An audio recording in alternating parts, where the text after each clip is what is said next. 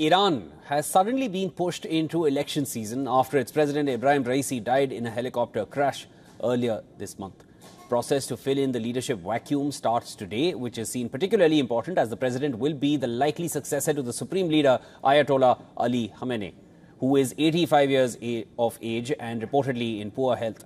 Once seen as a possible successor to Ayatollah Ali Khamenei, Iran's aging ultimate decision maker, Raisi's sudden death has triggered a race among hardliners to influence the selection of Iran's next leader. According to reports, the supreme leader seeks a fiercely loyal president in the upcoming June 28th election to run the day to day operations of the country. Registration for candidates will open on Thursday, which is set to be open till the 3rd of June, although it is only the beginning of the process that will see hopefuls vetted by the Guardian Council. It is a hardline watchdog body that disqualifies candidates without always publicizing the reason.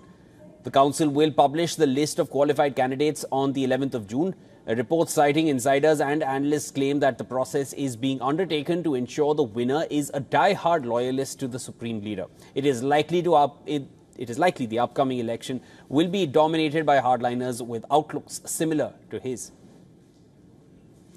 Now, according to reports, potential candidates who will be in the fray are interim President Mohammad Mokhber, former Parliament Speaker and Khamenei advisor Ali Larijani, who was barred from standing in the 2021 presidential race, and they have been named as possible candidates.